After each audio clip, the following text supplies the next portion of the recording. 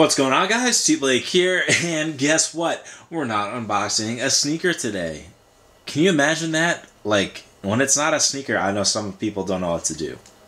But we have something in the black box and I have to give a huge shout out to United States uh, Border and Security Co. for keeping us safe as they unboxed my box for me.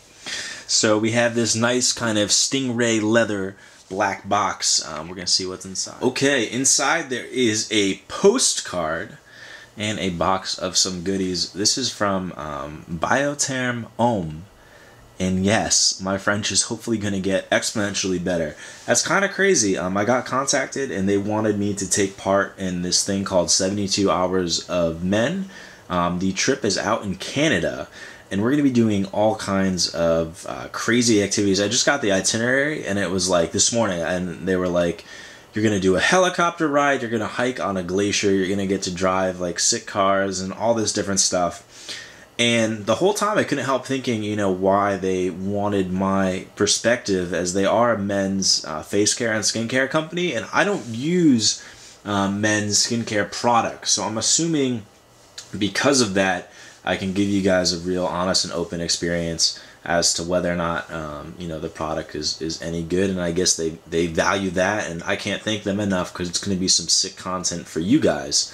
So we'll take a quick look and then the second pickup which is the big pickup and I need to tell you all about the Best Buy jig um, we'll get into next so. All right now for the Best Buy jig. This is a receipt. You can't see what's I thought you could see what's on it. You can't I got the GoPro Hero 4 Black, which retails for 499.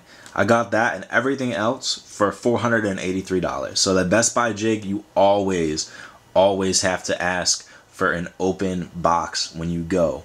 Open box is life. Sometimes they'll even open the box for you if it, they can't find the right product. So always ask for open box. It is the Best Buy jig. You will always save money and it works on literally every product. Alright, so we got the Hero 4 Black. I went with this one because it has 12 megapixels, which I think will be best. And then it also shoots with uh, 40 frames per second, uh, 30 frames per second in 4K.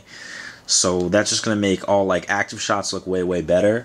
Um, and like I said, I was able to get this at a steep discount. We got those. Next, we got the rechargeable battery. Because the other thing was it came with the bundle. So I got an extra 15% off everything on the bundle. In addition, 64 gigabyte. It was supposed to be 32. They didn't have the six, the 32 for the package. I was like, oh man, like, can you guys honor the the deal? So this was 130 bucks. They threw it in for 29.99, straight up cooking. On top of that, we have the stay there. We have the head strap and quick clip. The things I'm to do for you guys to get a shot, I'm to clip that thing to my head. And then, I don't know what this is, but it was part of the bundle.